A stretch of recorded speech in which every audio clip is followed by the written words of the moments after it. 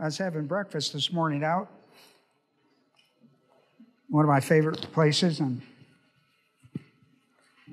the waitress knows I'm in the ministry, and she said, Well, what are you going to preach on today? I said, Mad at God.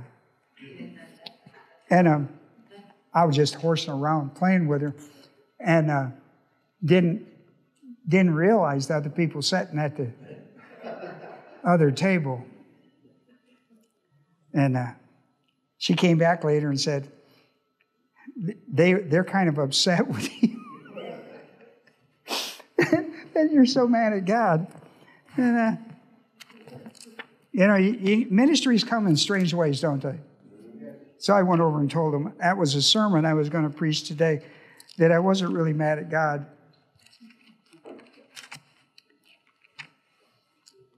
Uh, you have your Bibles. I'll open them to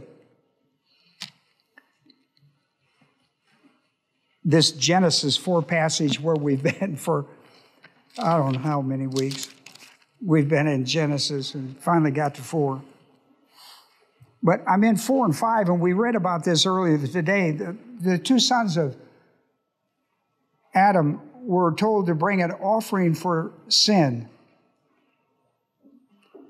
It was at that, you remember we, we, we paid attention to this in verse 3, so it came about in the course of time. That's a very specific Hebrew idiom uh, for um, a scheduled event that's very important. And it was a rite of passage.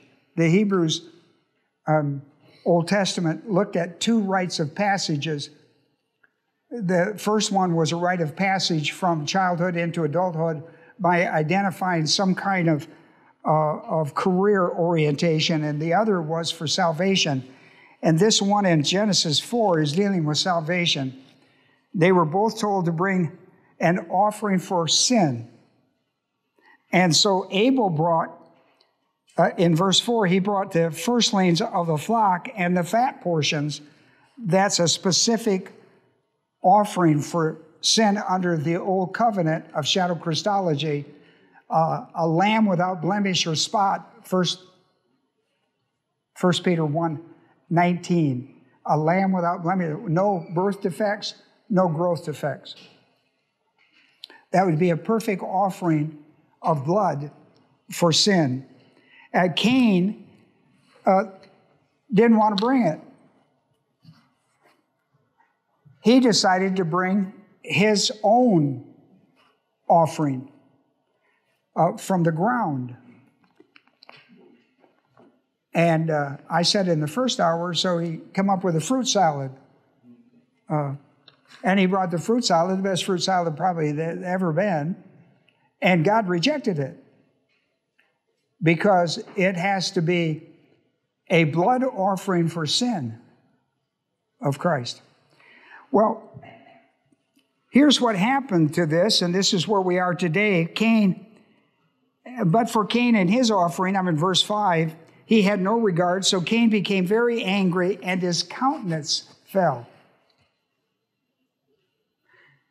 And the Lord said to him, Now remember, his, the Lord has rejected his offering because it wasn't for sin, it was for self.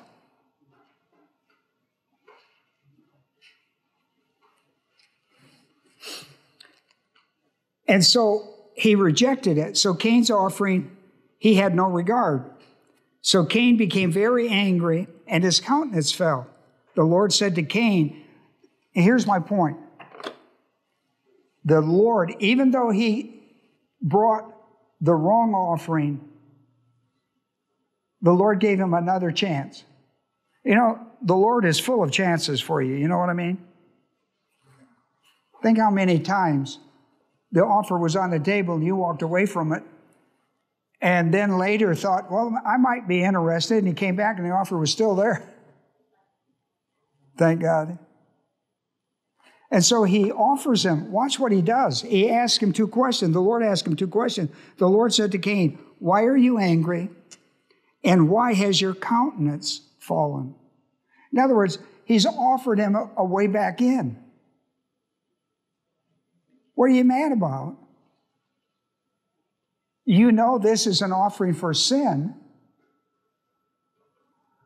And what would cause you to become so angry that you're out of control? Your countenance falling is an idea where your body, soul, and spirit, when they, when they work together, you're called well or healthy. And when they get out of whack, you're unhealthy and sick. And his body, soul, and spirit are out of whack to such a degree you might, we would call the, your countenance falling, we would call it body language. We would most often see it in body language in people. And, it, and he was just, he had just gone, he was out of control.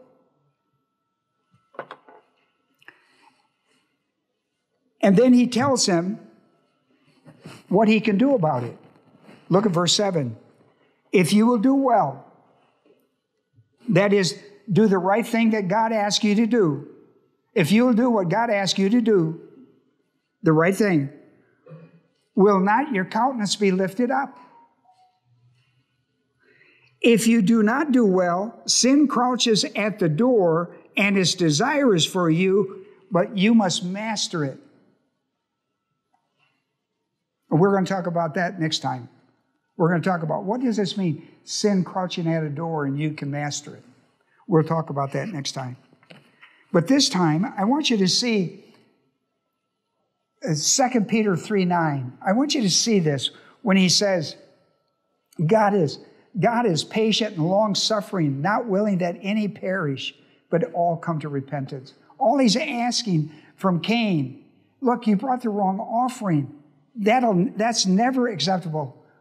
A fruit, a, as good as a fruit salad is and as healthy it could be, it is not for a sin offering. Just bring me the correct sin offering, and your whole life will be changed. Your, your, your countenance will be lifted up rather than dropping to the nth degree. So we're going to talk about this today.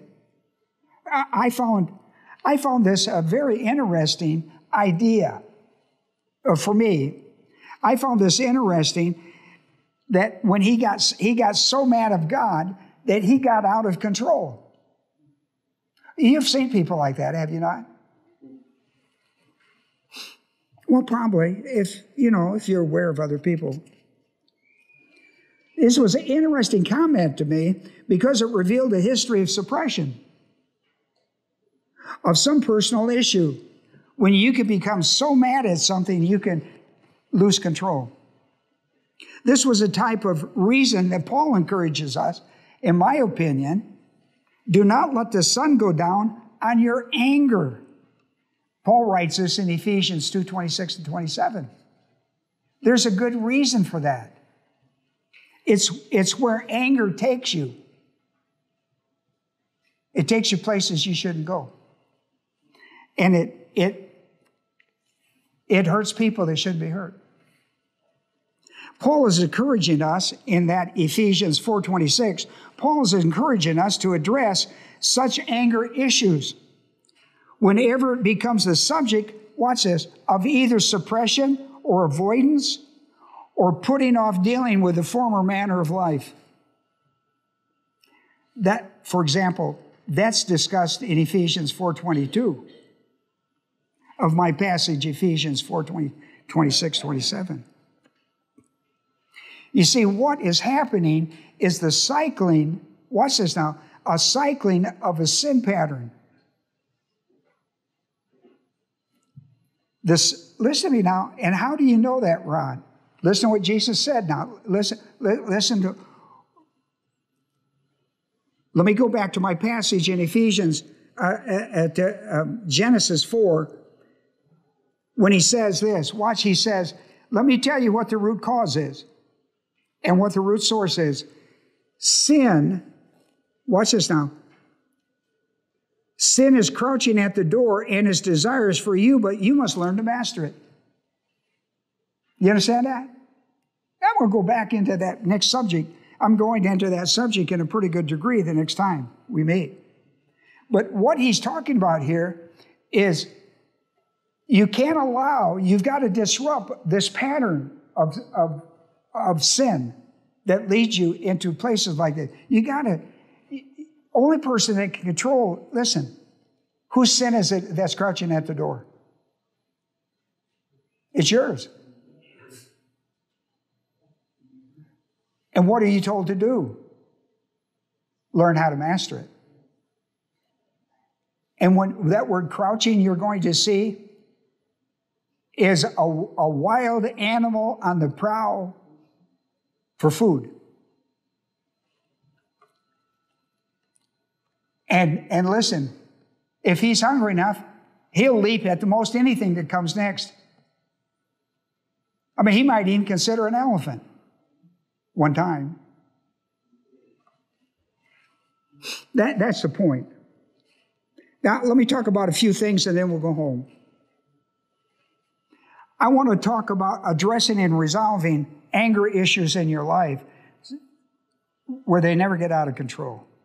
You're responsible for the sin crouching at the door. You've got to learn to master it. Agreed? Uh-huh. Okay. One reason a person may feel this way is because in the beginning, in other words, I'm trying to figure out why, why did Cain, why are you getting so mad that you're out, it's out of control and your body's shaking and everything? One reason a person may feel this way is because in the beginning he felt justified being in the right regarding the cause of anger. This was certainly true with Cain. Maybe like Cain, you felt justified in what you believed, whether it was true or false. But it was unjustified because it was it, it, unjustified based on an absolute standard of the Word of God. Cain, why are, why are you so upset? I mean, God told you what you were supposed to bring. Why didn't you bring it? Why aren't we addressing that?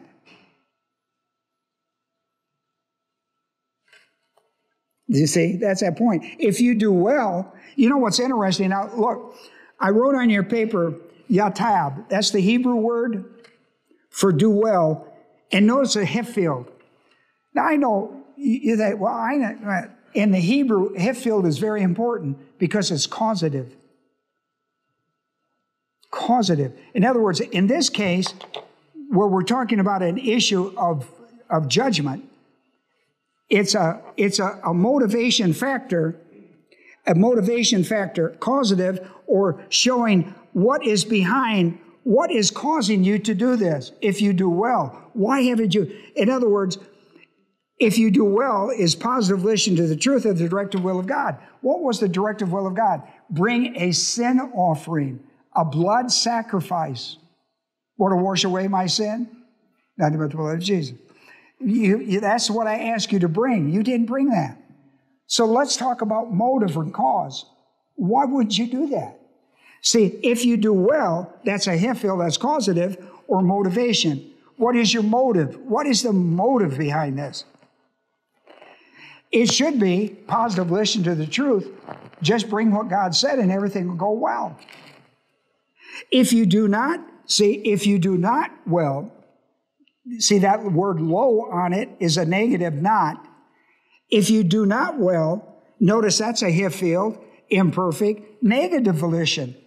If you do not well, in other words, if you go negative volition to truth of the directive will of God, if you go the opposite direction, God tells you to do this, and you say, No, I'm going to do this. Say, that's the point. This word in the Hebrew, yatab, means to do well by doing the revealed directive will of God. In other words, what did God tell you to do? Cain. He's got both boys standing there. Abel, what did I what did I what did I tell you in class? What to bring a blood offering? Did you bring yes. Cain, what did I tell you in class that you had to bring for a sin offering? Blood. Well, why did you bring me a fruit salad? I, I don't know what he brought. He brought something from the ground. I just brought you something I like. Since it's, since it's, I can do that, I'm, right? So, why'd you do that? See, we're looking for motive. Why'd you do that? And, he, and here's what he wants he wants him to confess it. He wants him to confess his sin, and then he wants him to take a look at what his sin was doing to him. Look at, listen, when you confess your sin, you should ask yourself in that confession, is what this is about. What is that sin doing to me and my life?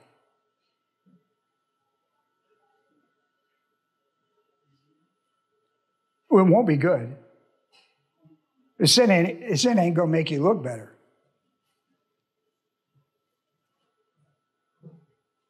Then why do you keep doing it? If the sin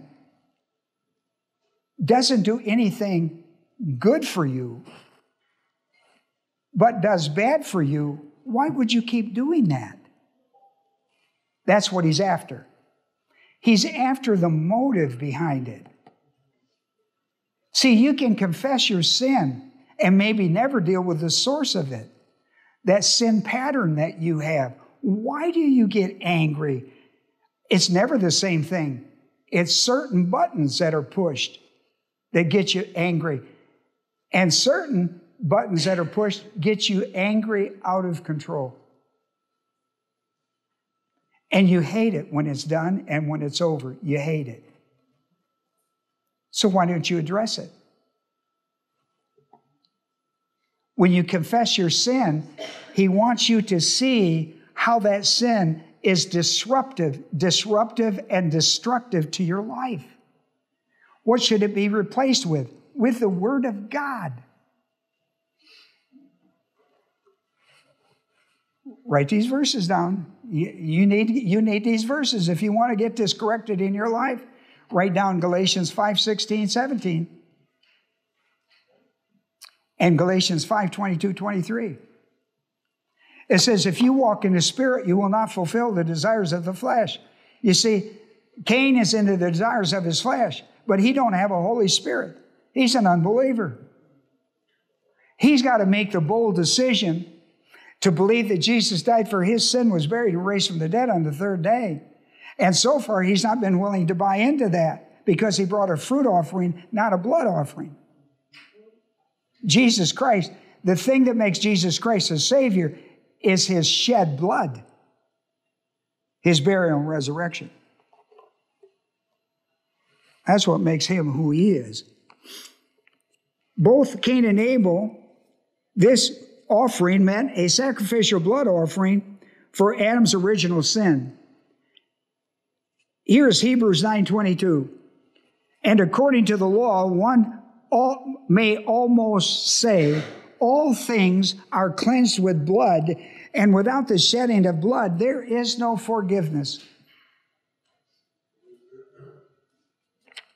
And Cain understands this and is not willing to buy into it not to believe it. Why did Cain get angry at God, and why did he feel justified in his anger at God? Well, let's take a look at it. Cain is angry at God because he is operating from evil thinking. That we call it the old man cosmos diabolicus thinking in theology. He's going, listen, you're either in the world or in Christ. In Adam, you're in the world. In Christ, you're in the kingdom. The kingdom of the beloved Son. You know, we read that in the first hour in Colossians 1.13. You should read that. You've been rescued from the domain of darkness and transferred into the kingdom of the beloved Son. Colossians 1.13. See, you should be operating out of the kingdom of God. And if you're not, then you're operating out of the other system the cosmic system. Write this down 1 John 5 19. When you're in the domain of darkness or where you're in the cosmic system that fights against the Word of God, that's the cosmic system. Worldly thinking, you're into evil. You're into evil. And who runs that system? Satan. That's, that's, that's 1 John 5 19 the God of this world, Satan. And that's where Cain is. Listen, he's the same guy running the same system that got their, his Cain's mother and father. The devil got them. Right? We're, we're just one generation down from that. My, my, my. I mean, the devil running his old, his old, his old schemes. Cain was in opposition to the directive will of God regarding the sacrificial offering of blood atonement. For us, that is, listen, do you believe this is the gospel? The blood atonement business is the gospel. Do you believe Jesus Christ died on the cross? His blood is the blood atonement for sin. There is none other. Your good works, you're joining churches, you, you saluting flags and all that kind of stuff, good stuff. I, I was in the military. I, I, I fought. I got a Purple Heart. I got this. I got that. Ain't going to get you to heaven. Those are all good things, but they won't get you to heaven. You got to believe that Jesus Christ came. It was, it was the righteous blood. He who knew no sin became sin for me. The righteous blood of Christ was given to me on my behalf for the unrighteousness of me. And when I accept it, then I'm made righteous in God in Christ. My people, people need to know this stuff. You see, Cain made an issue out of a non issue. Do you see that? Cain made an issue out of a non issue for salvation.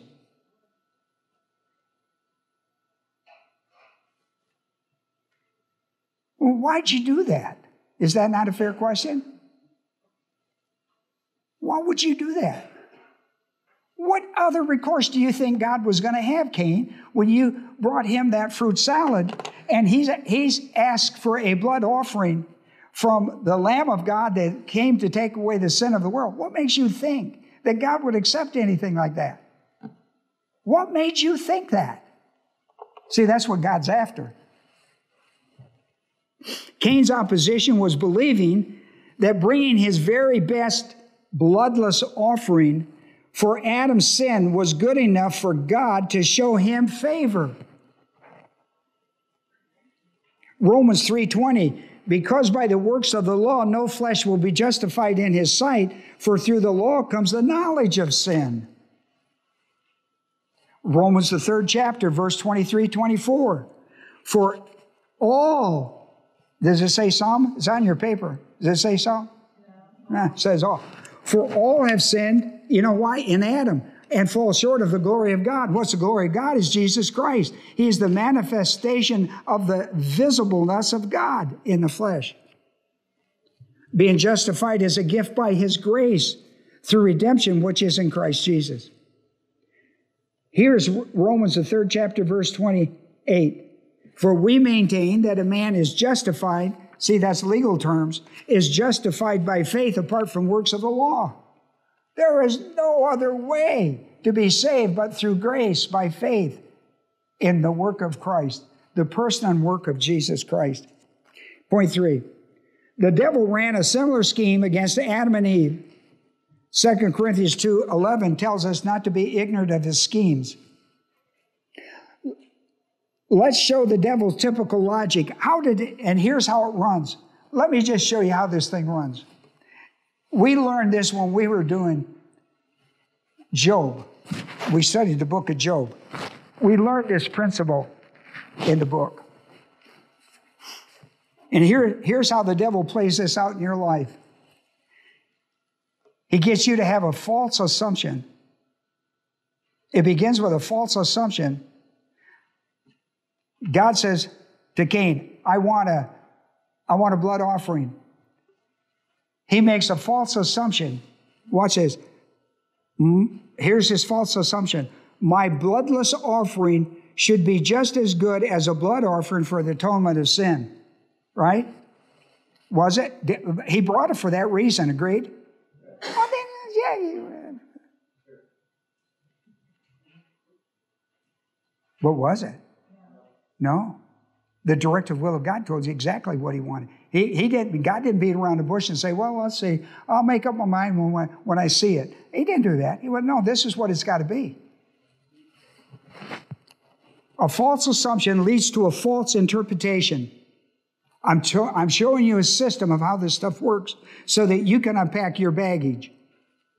A false interpretation. Here was Cain. My very best offering should be acceptable unto God. That's a false interpretation. My very best offering should be acceptable to God.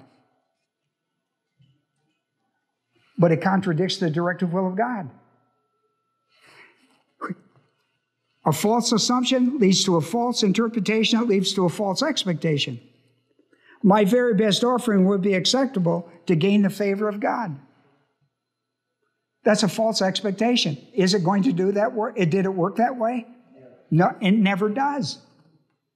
It didn't work for him, it won't work for you. This won't work for you, but let me show you. What I'm showing you is how the system, how the devil's system works you. He gets you into a false assumption, a false interpretation, right? A false expectation, and then a false application.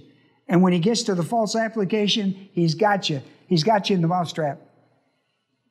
Cain's bloodless sacrifice offering was rejected by God now, what you going to do? See?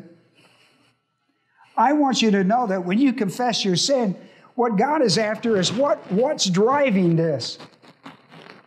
What thinking is going on in your mind? Because it's evil thinking operating in your life in some capacity that's shutting down the plan of God from working in your life. And here's how that system works it works this way all the time a false assumption interpretation, expectation, and application. And then you're in the mousetrap. When Cain's offering was challenged once again by the directive will of God, he quizzed him. He asked him two questions. Cain was unwilling to repent, metanoia, change his mind. He was unwilling to surrender his will to the will of God, like Jesus had to to go to the cross in Matthew 26. And let me tell you, that's a no win position. That's a no win position. In conclusion, God issued a warning to Cain of the consequences of not repenting or changing his mind to do the directive will of God. God asked Cain two questions. So Cain became very angry and his countenance fell. And the Lord said to Cain, Why are you angry and why is your countenance fallen? In other words, we all can see when somebody gets really mad. We can see body language. When that body language gets, gets nutty and gets out of control, you've got to bleed over. You've got a body, soul, and spirit out of whack. And the only person that can put them back together properly is God Almighty Himself. And you've got to learn how to get rid of anger from your life. You've got to learn how to walk in the spirit and not in the flesh. Anger comes from the flesh, doesn't come from the spirit. Write this down. It's important to you. That's when I tell you to write it down, you should write it down. You're not going to remember this. Don't be Cain. Please listen. Write this down 1 Corinthians 13, 4 through 8. And you should read that today. You should read that. 1 Corinthians 13, 4 through 8. And you can drop down and look at 13. Everybody knows 13. They paid attention to none of the rest of it. God's answer to Cain if you do well, and if you don't do well. In other words, he gave a choice. I give you a choice today. You can do well or you can not do well. It depends on your attitude towards the will of God. What right as a believer in Jesus Christ, do, what right do you have to get so mad that your body gets out of control? I mean, that's where road rage comes from and all of that stuff. You have no right to it. You have bought into a false assumption, interpretation, expectation, and application in your life. You have got to take care of the sin that's crouching at the door. And you've got to learn to master it. And you do it by walking in the power of the Holy Spirit. You can't master it in the flesh, you have to master it in the Spirit. The Holy Spirit, listen, write this down 1 John 4 4. Greater is he who is in you, the Holy Spirit, than he who is in the world, the devil. You've got to learn. You come here and stay a year with me, I'll teach you how to master this stuff. You can't come one time and get it. You come spend a year with me. You come spend a year with me. And you'll see changes in your life that are amazing. Let me conclude with Hebrews 11:4. This wonderful passage in, in Hebrews 11 on faith. By faith, Abel offered to God a better sacrifice than Cain, through which he, Abel, obtained a testimony that was righteous. God testifying about his gifts. And through faith, though he is dead, he still speaks. Isn't that something? Not Cain, Abel. Abel's testimony today. Let us pray. Our Heavenly Father, we're thankful today for these that have come our way to study with us, to open the scriptures and have the scripture open our lives to the truth. The devil is a liar. His nature is to lie and to deceive and to destroy. There's only two systems in this world that we live by either the cosmic system of evil thinking of the devil or the righteous system of God in Christ through the Word of God. It's a magnificent book. Faith comes by hearing and hearing the Word of God. Romans 10 17. Bring us people who need to hear the truth of the Word of God, Father. Let them become part of real dynamic change in their life, where their body and their soul and their spirit are in union and in order of God, in the order of God. And other people will go like, what has happened to you? And the answer is transformation of Romans 12 2. The transformation of Romans 12 2. Encourage our hearts, Father. Encourage our hearts. What made Abel any better than Cain? Nothing but faith. He operated his offering based on faith in the Word of God. And God exercised the production of it. And we're so thankful for it in Jesus' name. Amen.